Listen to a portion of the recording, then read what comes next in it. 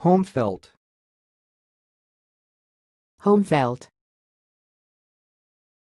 Home felt. Thanks for watching. Please subscribe to our videos on YouTube.